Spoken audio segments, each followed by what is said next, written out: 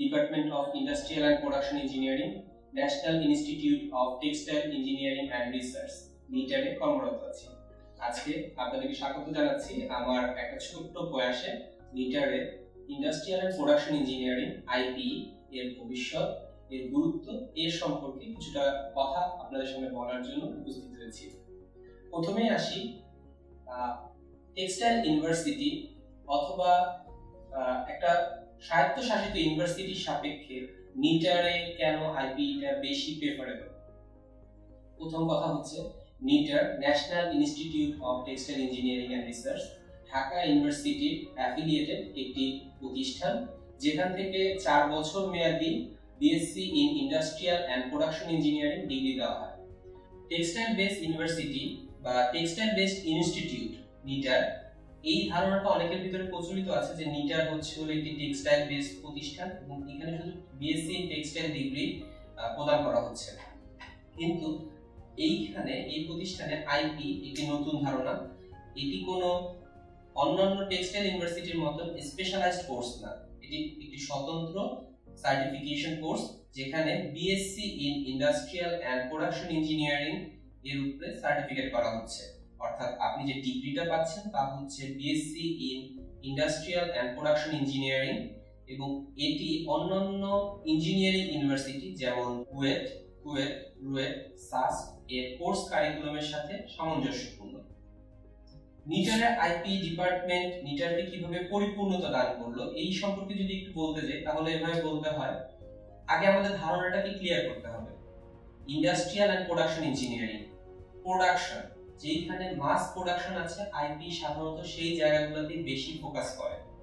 এবং মাস ফোকাসিং জায়গাগুলোর ভিতরে স্কোপের ভিতরে আমরা যদি দেখি, এর ভিতরে আমাদের বাংলাদেশের প্রেক্ষিতে সবচেয়ে বড় সেক্টর কিন্তু হচ্ছে গার্মেন্টস অর্থাৎ গার্মেন্টস গার্মেন্টস ইন্ডাস্ট্রিকে যদি আমরা একটা প্রোডাকশন ফ্রেমে চিন্তা করি, তাহলে দেখা যাবে আমাদের দেশের যে গড় উৎপাদন, পণ্য উৎপাদন সেই ভিত্তিতে প্রায় সেভেন্টি পার্সেন্ট ক্যারি করতেছে আমাদের এই টেক্সটাইল ইন্ডাস্ট্রি আর সেই টেক্সটাইল ইন্ডাস্ট্রির উন্নতির জন্য অবশ্যই ইন্ডাস্ট্রিয়াল অ্যান্ড প্রোডাকশন ইঞ্জিনিয়ারিং এর ভূমিকা অপরিসীম।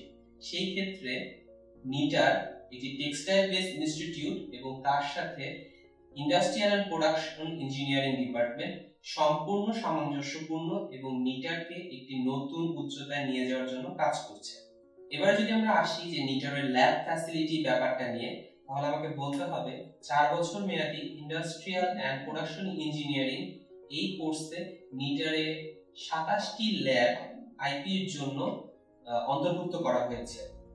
এর ভিতরে বর্তমানে প্রায় বারোটি ল্যাব অলরেডি প্রতিষ্ঠিত হয়েছে এবং যা সম্পূর্ণ ওয়েল ইকুইপড আমরা নতুন করে কিছু ল্যাব ইন্ট্রোডিউস করেছি। এর ভিতরে আছে মেকানিক্যাল ইঞ্জিনিয়ারিং ড্রয়িং ল্যাব তার সাথে আছে ক্যাড ল্যাব অটো ক্যাডেল ল্যাব কম্পিউটার ল্যাব আমাদের নতুন প্রতিষ্ঠিত হয়েছে ইঞ্জিনিয়ারিং ম্যাটেরিয়ালস ল্যাব তার সাথে আছে fluid mechanics lab SM lab solid mechanics lab এবং থার্মোডিনামিক্স ও হিট ট্রান্সফার ল্যাব এই ল্যাবগুলো অলরেডি আমাদের নিটারে প্রতিষ্ঠিত এবং আরও কিছু ল্যাব বর্তমানে প্রক্রিয়াধীন আছে, যা অচিরেই বাস্তবায়িত হতে যাচ্ছে। আমাদের স্টুডেন্টের ডিমান্ড অনুযায়ী এই ল্যাবগুলোতে এবং কোর্স কারিকুলামের সাথে সামঞ্জস্য রেখে যা যা মেশিন দরকার, তা আমরা এই ল্যাবে সন্নিবেশিত করেছি। যদি আমরা একটু ডিটেলসে বলতে চাই যেমন ইঞ্জিনিয়ারিং ম্যাটেরিয়াল ল্যাব এই ল্যাবে আমাদের metallurgical microscope muffle furnace polishing machine mounting press সহ বিভিন্ন জিনিস সন্নিবেশিত করা হয়েছে।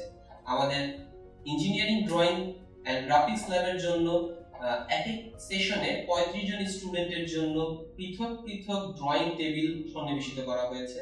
আমাদের যদি মেকানিক্যাল ল্যাবের কথা বলি, সেই ক্ষেত্রে আমাদের lathe machine milling machine welding চার প্রকারের ওয়েল্ডিং যেমন arc welding gas welding TIG welding MIG welding এই ওয়েল্ডিং সমূহের যে যাবতীয় সরঞ্জাম এখানে সন্নিবেশিত করা হয়েছে। এছাড়াও আরও রয়েছে অটোমেটিক স এবং গ্রাইন্ডিং মেশিন তার সাথে সাথে হ্যান্ড টুলস বিভিন্ন হ্যান্ড টুলস এই মেকানিক্যাল ল্যাবে বর্তমান। সলিড মেকানিক্স ল্যাবের জন্য বিদেশ থেকে একটি UTM machine universal testing machine আনা হয়েছে। এছাড়াও ওই ল্যাবের জন্য ইম্প্যাক্ট টেস্টার ফ্যাটিক টেস্টার এইসব মেশিনগুলো বাইরে থেকে আনা হচ্ছে। এবং এই জিনিসগুলো বর্তমানে ডেভেলপিং ফেজে রয়েছে। কিছুদিনের ভিতরেই মেশিনগুলো সম্পূর্ণ রানিং অবস্থায় চলে যাবে। এছাড়াও কোর্সের সাথে সামঞ্জস্যপূর্ণ রেখে যখন যে মেশিনটি দরকার, আমরা তাই এখানে সন্নিবেশিত করছি। এবং আমাদের নিটারের আইপি ডিপার্টমেন্টের ল্যাব ফ্যাসিলিটিকে বাড়ানোর জন্য আমরা সবসময় বদ্ধপরিকর। এবারে যদি আমি আসি নিটারের আইপি ডিপার্টমেন্টের ফ্যাকাল্টি ফ্যাসিলিটি সম্পর্কে, তাহলে আমাকে প্রথমেই বলতে হবে নাম ডক্টর মোহাম্মদ মিজানুর রহমান স্যার। তিনি ঢাকা ইউনিভার্সিটির সিন্ডিকেট মেম্বার এবং এই নিটারে অধ্যক্ষ হিসেবে কর্মরত রয়েছেন। এরপর যদি আমি বলি, নিটারের আইপি ডিপার্টমেন্টে দুইজন অ্যাসিস্ট্যান্ট প্রফেসর স্যার কর্মরত রয়েছেন। এর মধ্যে একজন ডক্টর মোহাম্মদ আহসান হাবিব স্যার, তিনি কুমামোতো ইউনিভার্সিটি, জাপান থেকে পিএইচডি সম্পন্ন করেছেন। এছাড়া রয়েছে ডক্টর মাহফুজুর রহমান স্যার, তিনি মাজদা ইনস্টিটিউট, আবুধাবি থেকে পিএইচডি এবং এমএসসি সম্পন্ন করেছেন। এর আগে তিনি বিএসসি কমপ্লিট করেছেন BUET, Bangladesh university of engineering and technology BUET থেকে। এছাড়া আমাদের এই ডিপার্টমেন্টে তিনজন লেকচারার কর্মরত রয়েছে।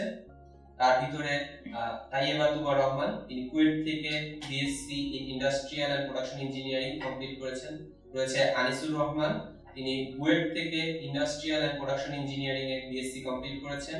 এছাড়া আমি নিজেও রয়েছি আইপি ডিপার্টমেন্টে আমি মাহমুদুল হাসান বিএসসি কমপ্লিট করেছি Khulna university of engineering and technology থেকে। নিটার থেকে আইপি তে পড়াশোনা করলে আমি কি জব পাবো? এরকম একটা কোশ্চেন আমাদের মাথায় ভর্তি হওয়ার সময় কাজ করবে। যদি আরও বিস্তারিত ভাবে একটু বলতে চাই, আপনি যদি দেখেন, আমি বলব না যে আমার কথাকে আপনার বিশ্বাস করতে হবে। আপনি নিজেই চেষ্টা করতে পারেন। বাংলাদেশে এখন সবচেয়ে লার্জেস্ট যে জব পোর্টাল বা ওয়েবসাইট যদি আমরা বলি, সেটা হচ্ছে বিডি জবস ডট কম আপনি এখানে যে যদি কিওয়ার্ড দিয়ে সার্চ করেন যে ইন্ডাস্ট্রিয়াল অ্যান্ড প্রোডাকশন ইঞ্জিনিয়ারিং অর্থাৎ আইপি আইপি বর্তমান জব কয়টা আছে? এই ওয়ার্ডটা দিয়ে যদি আপনি সার্চ করেন, তাহলে আপনি অ্যাটলিস্ট বিশ থেকে পঁচিশটা বা তিরিশটা ঊর্ধ্বে গেলে কখনো কখনো পিক আওয়ারে আপনি আশিটাও জব সার্চ করে পাবেন। এর ভিতরে আমি অন্তত এতটুকু গ্যারান্টি দিতে পারব সেভেন্টি পার্সেন্ট জব কিন্তু টেক্সটাইল ওরিয়েন্টেড আর নিটার একটি টেক্সটাইল ইনস্টিটিউট সো অবশ্যই জব মার্কেটে আমাদের আইপি স্টুডেন্টরা একটা স্পেশাল ভ্যালু পাবে। আরও একটা জিনিস একটু যদি বলে রাখি, আমাদের এই নিটারের গভর্নিং বডিতে বিভিন্ন শিল্পপতি এবং ইন্ডাস্ট্রির চেয়ারপারসন ডিরেক্টর তারা রয়েছেন। যেহেতু তারা রয়েছেন এবং তাদের ফ্যাক্টরিগুলো আমাদের স্টুডেন্টরা সবসময় ইন্ডাস্ট্রিয়াল ট্যুর ইন্ডাস্ট্রিয়াল ভিজিটের মাধ্যমে পরিদর্শন করছে। দেখা যাচ্ছে যে নিটারের টেক্সটাইল হোক অথবা নিটারের আইপি হোক, তারা বের হওয়ার আগেই অনেক সময় চাকরির সুবিধাটা পেয়ে যাচ্ছে। আমাদের এই স্যারেরাই অনেক সময় তাদের এই চাকরির ব্যবস্থা করে দিচ্ছেন। যার ফলে জব প্লেসমেন্ট আমাদের নিটারের জন্য অত বেশি একটা সমস্যার কারণ হচ্ছে না। আর সেই ক্ষেত্রে আইপি যেহেতু ম্যানেজারিয়াল নলেজ নিয়ে আমাদের স্টুডেন্টরা আসছে, অবশ্যই এই সাবজেক্টটি টেক্সটাইলের ক্ষেত্রে একটি বিশাল ভূমিকা রাখবে বলে আমি মনে করি। যদি সাবজেক্ট হিসাবে আমি কেন একটা ফিমেল স্টুডেন্ট টেক্সটাইল না নিয়ে আইপি নিবে বা কেন প্রেফার করবে, সেই সম্পর্কে যদি একটু বলতে চাই, এখনকার সময় দেখা যায় যে হার্ড ওয়ার্কিং এর চেয়ে টেকনিক্যাল ওয়ার্কিং এ কিন্তু মেয়েরা এগিয়ে। তারা বিভিন্ন প্রবলেম সলভিং জিনিসগুলোকে খুব সুন্দরভাবে গুছিয়ে তুলতে পারে। তাদের ভিতরে কিন্তু আগে থেকেই একটা গোছানো স্বভাব বিদ্যমান থাকে, যার ফলশ্রুতিতে ম্যানেজারিয়াল পাওয়ার তাদের ভিতরে বেশি। আমি এই সাবজেক্টে কি পড়তে পারব? তার ইচ্ছা থাকার সময়, অনেক সময় কিন্তু পরিবেশ থেকে তার একটা ধারণা চলে আসে যে কঠোর পরিশ্রমের একটা জায়গা, যার ফলে সে এই জায়গাটাকে ভয় পাচ্ছে। কিন্তু আমাদের এই IP industrial and production engineering এইখানে শুধু যে টেক্সটাইলকে ফোকাস করা লাগবে তা না টেক্সটাইলের বিভিন্ন পার্টস যেমন inventory management supply chain management এই জিনিসগুলো কিন্তু আজকে বেশ ফ্লারিশ করেছে। এবং বিভিন্ন টেক্সটাইল অর্গানাইজেশনে এই supply chain management inventory management এই সেক্টরগুলোতে মেয়েদেরকে নেওয়া হচ্ছে। যেই ক্ষেত্রে এই মিটারের আইপি একটি বিশেষ ভূমিকা রাখতে পারে। Textile IP inventory management or supply chain management এইখানে সরাসরি মেয়েদের একটা বিশাল ভূমিকা রয়ে গিয়েছে। তারা এইখানে জবের একটা ভালো সুযোগ পেতে পারে বলে আমি মনে করি। হায়ার এডুকেশন সম্পর্কে যদি কিছু বলতে হয় তাহলে বলব, বাইরে স্কলারশিপের ক্ষেত্রে এটা বেশ ডিমান্ডেড সাবজেক্ট সরাসরি ইন্ডাস্ট্রিয়াল অ্যান্ড প্রোডাকশন ইঞ্জিনিয়ারিং এই শব্দটা আপনি না পেলেও industrial engineering system development process development তারপর হচ্ছে ম্যানুফ্যাকচারিং প্রসেস এই সাবজেক্টগুলোর উপরে আপনার একটা বিশাল স্কোপ কিন্তু থেকে যাচ্ছে। কানাডা ইউএসএ জাপান অস্ট্রেলিয়া এইসব জায়গাতে অলরেডি এর একটি বিশাল ডিমান্ড ক্রিয়েট হয়েছে এবং আমাদের এই বিভিন্ন ইউনিভার্সিটির স্টুডেন্টরা বাংলাদেশের স্টুডেন্টরা দিয়ে বাইরে এই সাবজেক্টে পড়াশোনা করে বেশ ভালো সুনামের সহিত চাকরি করছে।